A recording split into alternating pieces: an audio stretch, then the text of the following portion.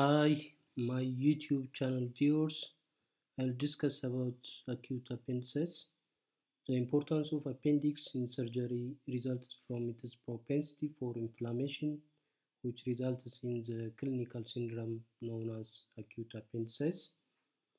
Acute appendicitis is the most common cause of acute abdomen.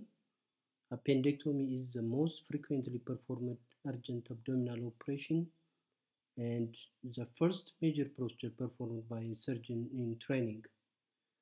Aside from its tendency to cause surgical pathology, the appendix may also have important roles in both immune function and maintaining the gut microbiota.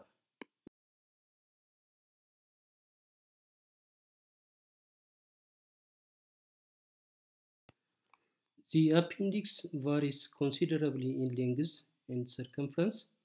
The average length is between 8 and 10 cm.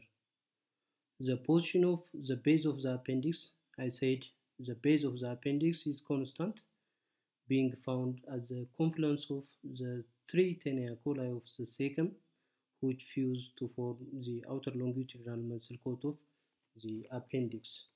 This is very important especially to find the appendix intraoperatively.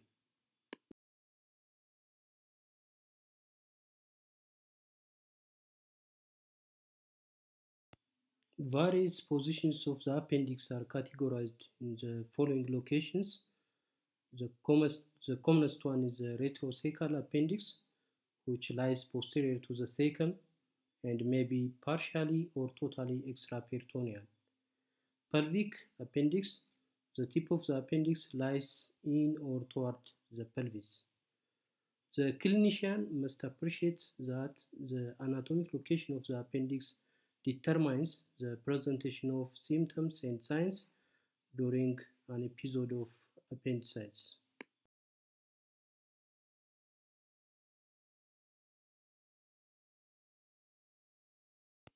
Appendicular artery a branch of the lower division of the ileocolic artery passes behind the terminal ileum to enter the mesoappendix a short distance from the base of the appendix. It then comes to lie in the free border of the mesoappendix.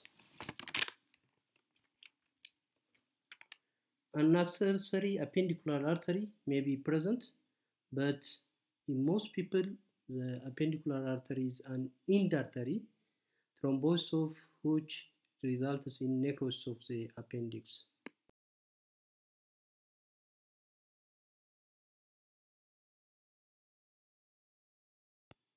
There, there is no unifying hypothesis regarding the etiology of acute appendicitis. The incidence of appendicitis is lost in societies with a high dietary fiber intake, contrary to that of people who consume refined carbohydrates. While appendicitis is clearly associated with bacterial proliferation within the appendix, no single organism is responsible. Obstruction of the appendix lumen has been widely held to be important, and some form of luminal obstruction, either by fecalith or a stricture, is found in the majority of cases. The incidental finding of a fecalith is a relative indication for prophylactic appendectomy or an interval appendectomy in a patient treated conservatively.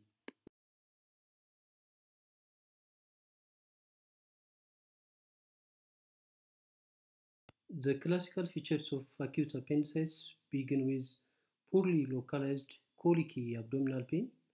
The pain is frequently first noticed in the periumbilical region. With progressive inflammation of the appendix, the parietal peritoneum in the right iliac fossa becomes irritated, producing more intense, constant, and localized somatic pain. The classic visceral to somatic sequence of pain is present in about half of patients. Anorexia is a useful and constant clinical feature particularly in children.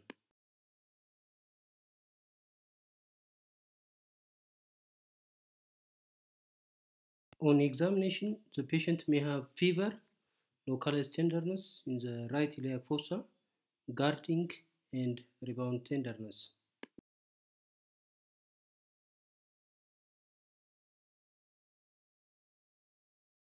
During examination, the examiner may elicit some signs to strengthen the diagnosis, like uh, the patient show where the pain started and shifted. We call it the pointing sign.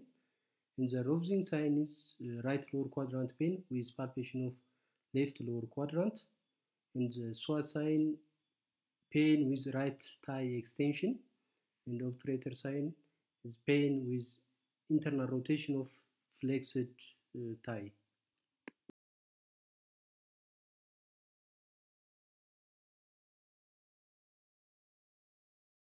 As I said on the previous slide, the presentation of the patient uh, with acute appendicitis may vary with the position of the appendix, uh, like retrocecal appendix.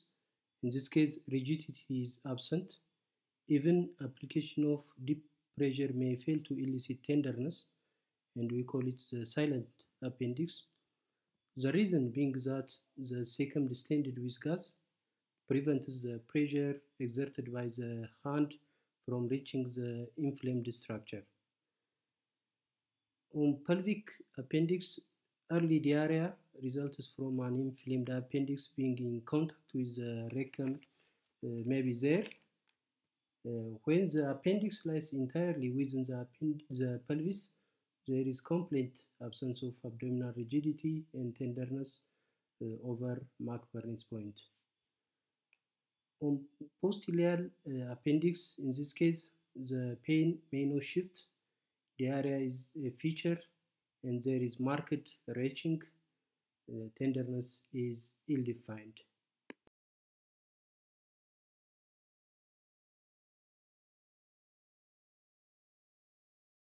Appendicitis is relatively rare in infants, and for obvious reason the patient is unable to give history because of this, the diagnosis is delayed and the incidence of complication is considerably high.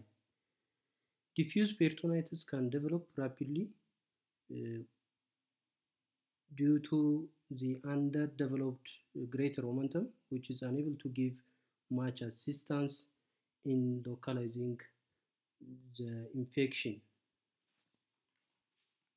Elderly patients with a lax abdominal wall or obesity may harbor complicated appendicitis with little evidence of it, and the clinical picture may simulate other abdominal conditions. The obesity can obscure and diminish all the local signs of acute appendicitis. Pregnancy, appendicitis is the most common extrauterine acute abdominal condition in pregnancy also. Diagnosis is complicated uh, by uh, delay in presentation as early non-specific symptoms are attributed to the pregnancy. Again, appendix is displaced out of pelvis by gravid uterus.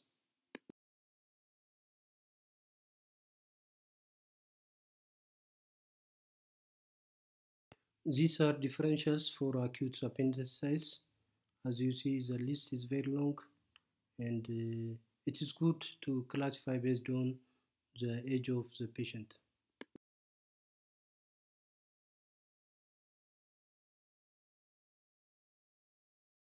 Diagnosis of acute appendicitis is primarily based on history and physical examination, but these preoperative investigations are helpful to rule in or rule out other differentials. Total WBC count is almost always increased above 10,000 in most of patients, but a very high WBC count like more than 20,000 suggests complicated appendicitis. Imaging Imaging is used when the diagnosis is not clear.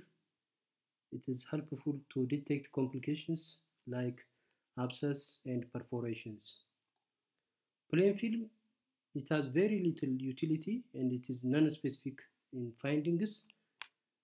but in rare cases may visualize facoles.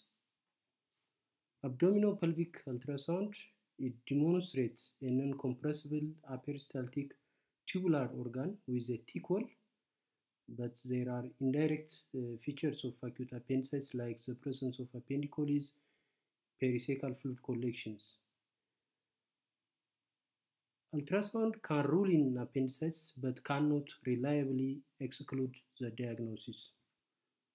CT with contrast, it is imaging modality of choice and has good sensitivity and specificity.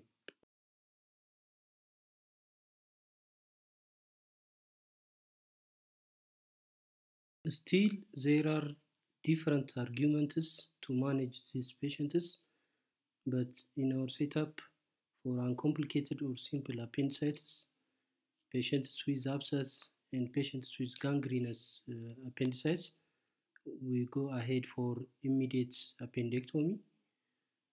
But for phlegmonous or appendiceal uh, mass, uh, we give broad spectrum antibiotics and we follow patients. And once they improve clinically, Uh, we appoint them for the interval appendectomy.